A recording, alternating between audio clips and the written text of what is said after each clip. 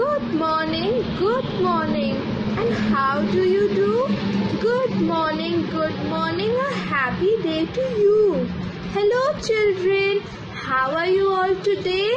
So, today we have someone who's come to meet you all.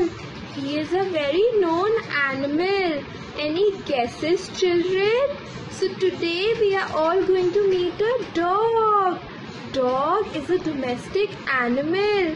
How many of you all have dogs at home? Many people keep dogs as pet at home. Just like humans, dogs also look different from one another. There are many breeds of dogs and a baby dog is called a puppy. What sounds does dog make? Dog does boo boo. Dogs eat both milk and meat do you all know a dog is a man's best friend?